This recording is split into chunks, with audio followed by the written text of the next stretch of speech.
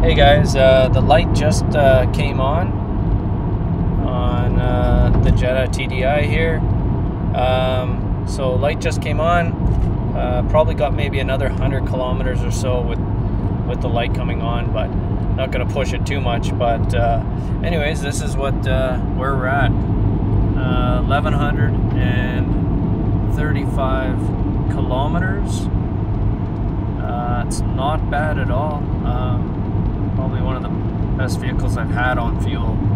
I would imagine I'm getting 55, um, maybe 60 miles a gallon. I haven't done any uh, calculations, but I think this is around uh, converted. I, I don't have anything to calculate it with, but I would guess this is probably about six, 650 miles to a tank. So it's pretty good. Just wanted to give you a quick update. All right, thanks. Thanks for watching.